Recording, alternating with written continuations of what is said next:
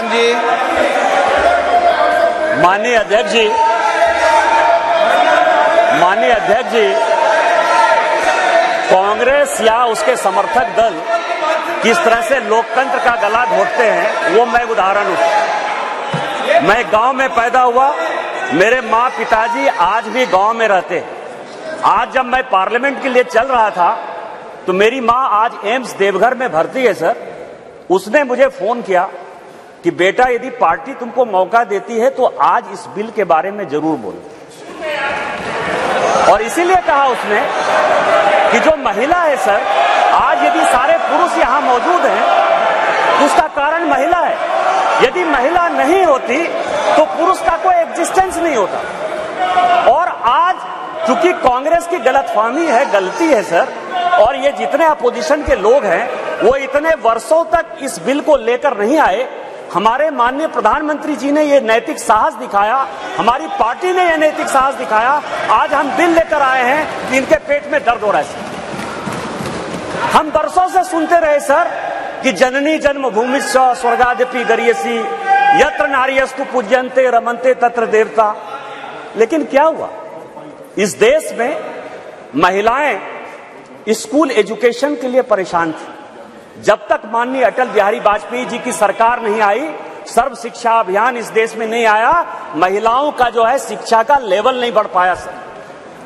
महिलाएँ, यदि बच्चियाँ स्कूल जाती थी तो उनको जो है खाना बनाकर जाना पड़ता था, सर। और इसको जब हमारे प्रधानमंत्री जी ने देखा तो मिड डे मील स्कीम जब तक कि सरकारी स्कूलों में लागू नहीं हुआ, तब तक महिलाओं की संख्या, बच्चियों की संख्या नहीं बढ़ी, सर। और उसके बाद जो सबसे बड़ा प्रॉब्लम था, इस देश के प्रधानमंत्री ने जो सबसे बड़ी बात की कि उनको सम्मान दिया सर सारे स्कूल में, स्मृति ईरानी जी उस वक्त एचआरडी मिनिस्टर थी, सारे स्कूलों में शौचालय बनाकर महिलाएँ कैसे अच्छा से पढ़ेंगी, बच्चियाँ कैसे आगे बढ़ेंगी, उसी का ये उदाहरण है और उससे आगे बढ़कर। आज जो कल से लेकर परसों से लेकर माननीय प्रधानमंत्री जी लगातार बोल रहे हैं कि सही समय है, यही समय और इसी समय पर आज ये ऐतिहासिक सेशन बुलाकर माननीय प्रधानमंत्री जी ने महिलाओं को जो सम्मान देने का काम किया, उसके लिए हम भारतीय जनता पार्टी के कार्यकर्ता गौरवान्वित हैं और हम उनका जो है आदर और नमन करते हैं कि उन्होंने महिलाओं को आरक्षण देने का फैसला किया। सर, मैं पढ़ रहा था। काफ़ी बातें कही। मैं केवल दो तीन चीज़ें बताना चाहता हूँ, फिर अपने विषय पर आऊँगा, सर। ये देश इस संविधान से चलता है। और इसका आर्टिकल 82 मनीष तिवारी जी यहाँ बैठे हुए हैं, कल से लगातार वो संविधान संविधान संविधान की बात कर रहे हैं। अभी सोनिया जी ने भी बोलते हुए बातें कही कि अभी क्यों नहीं लागू कर दिया, कब से लागू कर देंगे। ये देश संविधान से चलता है। मैं आर्टिकल 243 डी और टू आर्टिकल 243 टी जिसके लिए कि उन्होंने बड़ा अपने आप को गौरवान्वित महसूस किया कि हमने पंचायत में जो है महिला रिजर्वेशन लागू किया। बड़ा अच्छा किया। लेकिन ये आर्टिकल में 243 डी और 243 टी हमने तो नहीं दिया। आप दोनों को पढ़ लीजिए 243 डी और टी क्या पंचायत में किस तरह से रिजर्वेशन होगा और म्यूनिसिपल कॉरपोरेशन में किस तरह से रिजर्वेशन होगा? आपने उसके लिए कभी ओबीसी की बात तो नहीं की? यदि इस आर्टिकल में यदि आपने डाला होता ओबीसी की बात तो आप जब करिए बहुत अच्छा। इतने वर्षों से आपको नहीं दिखाई दिया। उसी तरह से उन्नीस से लेकर उनचास तक ये पूरा संविधान सभा चलता रहा। परसों से यही भाषण सुन रहे हैं, सर। इस कॉन्स्टिट्यूएंट असेंबली से लेकर उन्नीस सौ बावन से लेकर आज तक चुनाव हुआ।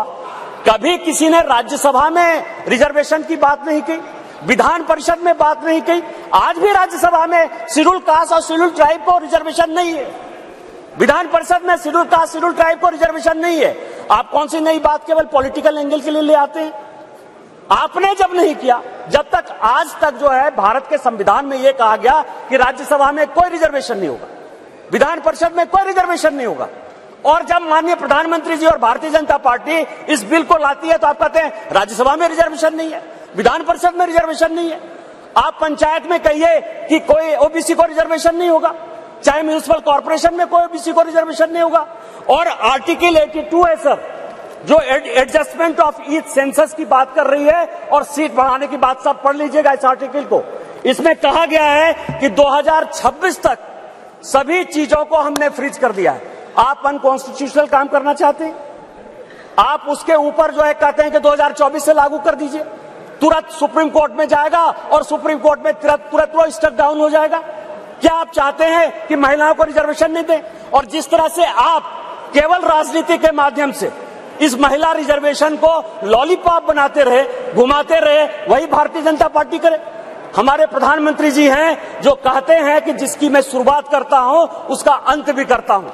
यदि ये महिला रिजर्वेशन यहाँ आया है तो महिलाओं को अधिकार मिलेगा, मिलकर रहेगा, दुनिया की कोई ताकत इसको नहीं रोक सकती है। लेकिन इनके यहाँ क्या दिक्कत है, सर? इनके यहाँ सबसे बड़ी दिक्कत है, और अभी जितने स्पीकर बोलने वाले हैं, सर, वो स्पीकर 2026 में ये आर्टिकल आर्टिकल 82 पढ़िए, संविधान को जो है पढ़िए। जो संविधान में लिखा हुआ है कि सेंसस होगा सेंसस के बाद डिलिमिटेशन होगा और डिलिमिटेशन के बाद जो है, हम उसको लागू करेंगे। और ये आर्टिकल 82 कह रहा है। ये 82 कह रहा है।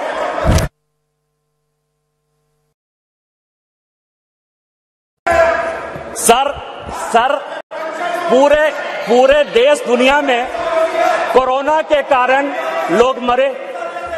माननीय प्रधानमंत्री जी के कारण आज 140 करोड़ लोग बच गए। इस पार्लियामेंट को चलाने में आप जैसे लोगों को क्या समस्या होगी, सर? लोकसभा, राज्यसभा, लॉबी, सभी जगह सांसद बैठकर कानून पास करते रहे। भाई मरता था तो भाई का लाश जलाने के लिए कोई नहीं जाता था। पिता मरते थे तो पिता का लाश जलाने के लिए बेटा नहीं जाता था। उस कोरोना से बचकर हम आए हैं दो साल के बाद। आपका तो आपने क्यों नहीं कराया? आपने क्यों नहीं कराया? कितने लोग थे जो रोड पर घूम रहे थे? कितने लोग थे जो खाना खिला रहे थे? सारे जगह के ट्रेन बंद थे, सारे जगह की स्थितियाँ बंद थी। भागलपुर पूरा जो है, भारत जो है, किस तरह के विकट परिस्थिति में था, सर? माननीय प्रधानमंत्री जी 140 करोड़ लोगों को बचा के लाए हैं और सेंसस जो संवैधानिक चीज़ है, उसको जब हम लागू करेंगे तो ये लागू होगा। आज आप कह रहे हो, क्यों नहीं लागू किए? देश में फिर से ये गलत तरह का माहौल पैदा करने की कोशिश कर रहे हैं, सर। 2020 और 21 के माहौल के बाद, कोरोना के बाद, कैसे सेंसस लागू हो सकता था? कैसे सेंसस हो सकता था? और माननीय गृह मंत्री जी बैठे हैं। हमेशा कहते हैं कि मैं कोई गैर संवैधानिक काम नहीं करूँगा, कोई असंवैधानिक काम नहीं करूँगा। यदि सेंसस होना है तो उसका भी डेट घोषित होगा, सेंसस होगा, डिलिमिटेशन होगा, और महिलाओं को रिजर्वेशन मिलेगा। यही तो इस बिल में है। तीन सौ जिसके बारे में कि माननीय कानून मंत्री जी कह रहे थे, सर। लेकिन क्या समस्या है कि ये अपने जो 26 पार्टियों का एक जो घमंडिया गठबंधन बनाया है, sir, Indi alliance Indi alliance, उसके सारे नेताओं का मैं भाषण पढ़ रहा था आज सोनिया जी जब बोल रही थी तो मुझे लग रहा था कि वो राजनीति से ऊपर उठकर बोलेंगे, क्योंकि वो अपोजिशन की आवाज़ थी, मैं उनका सम्मान करता हूँ, सर। इस महिला रिजर्वेशन के लिए जिन महिलाओं ने पार्लियामेंट के अंदर और पार्लियामेंट के बाहर सबसे ज़्यादा वो आवाज़ उठाई, वो बंगाल की गीता मुखर्जी थी और भारतीय जनता पार्टी की सुषमा स्वराज थी। ये दोनों यदि नहीं रहती तो आज ये दिन भी देखने को नहीं मिलता। 33 परसेंट यदि रिजर्वेशन लोकसभा और विधान परिषद, विधानसभा में यदि लागू होने वाला है और माननीय प्रधानमंत्री जी लेकर आए हैं इन दो महिलाओं का, लेकिन सोनिया जी ने अपने पूरे भाषण में न गीता मुखर्जी का ज़िक्र किया, न सुषमा स्वराज का ज़िक्र किया। यह किस तरह की राजनीति है? अपना क्रेडिट लेना चाहती है कि हमारा बिल है। ये बिल आपका नहीं है। आप जो बिल लेकर आए वो गलत बिल है। और यदि इसके लिए किसी ने आंदोलन किया तो वो गीता मुखर्जी है, वो सुषमा स्वराज है। आपने ये नहीं बोलकर इस महिला बिल में भी राजनीति करने की कोशिश की। और आज का पूरा क्रेडिट जो जीता वो सिकंदर जो गोल मारता है, यहाँ बंगाल के लोग बैठे हुए हैं, जो गोल मारता है, उसी के नाम से गोल मारा जाता है। माननीय प्रधानमंत्री जी गोल मारने को तैयार हैं। ये भारतीय जनता पार्टी का बिल है और ये माननीय प्रधानमंत्री जी का बिल है। आपको ये मानना पड़ेगा। दूसरा सवाल है, दूसरा सवाल है कि इनके जो अपोजिशन के लोग हैं सर, जो 26 पार्टियों का इंडी गठबंधन बना है, इसमें आप समझिए इनकी भावना कैसे है? महिलाओं के बारे में ये कैसा सोचते हैं? ये सोचते हैं, अब नहीं रहे इसी सदन के सदस्य थे राज्यसभा के भी सदस्य थे।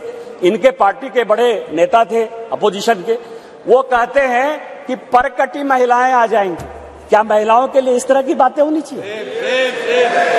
दूस, दू, दूस, दूस, दूसरी बात दू, दूसरी बात दूसरी बात जो है ये दूसरे नेता जो है 2011 में। मैं मैं मैं अध्यक्ष जी मैं अध्यक्ष जी आपको दो कहानी बताना चाहता हूँ। और ये वर्षों से मेरे मन में था। इस पार्लियामेंट में दो बार। संजोग से मैं 2009 में सांसद बनकर आया। अनुराग ठाकुर जी से लेकर राजनाथ जी सबों के साथ काम करने का मौका मिला, सर। 2011 और 2013 में दो भयंकर घटना हुई इसी वेल में।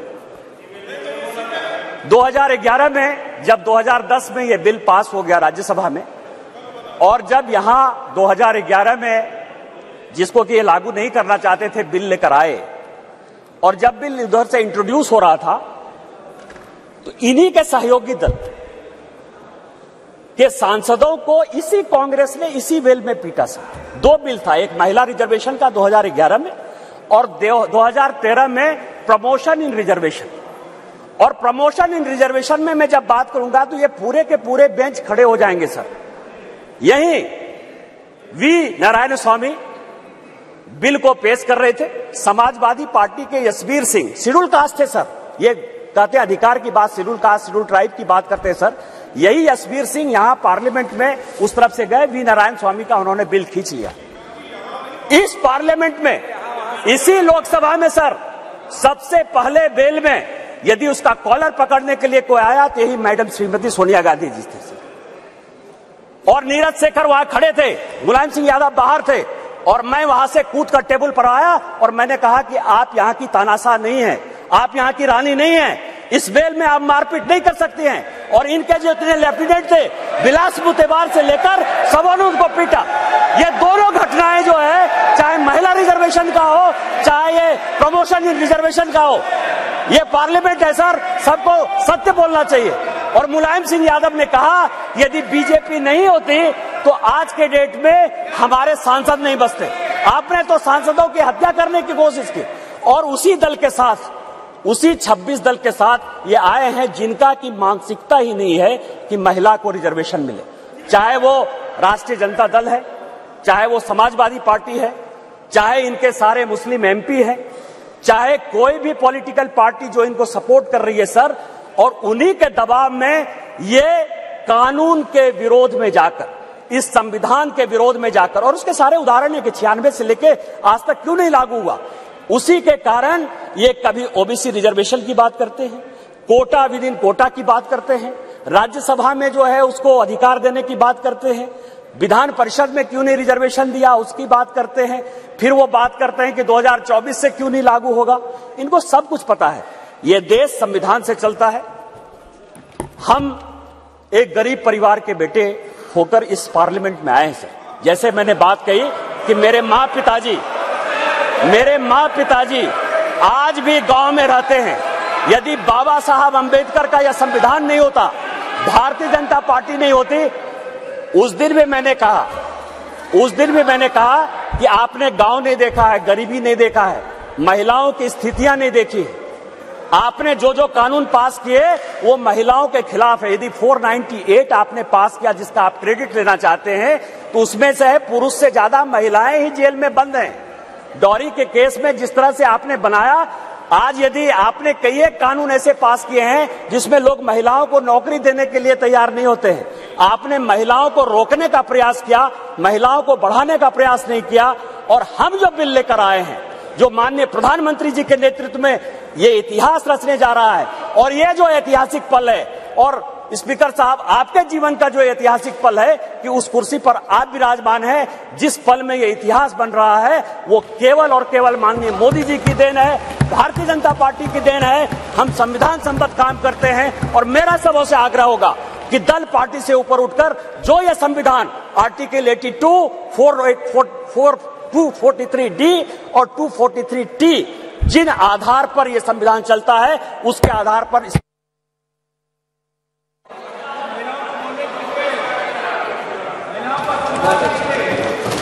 श्री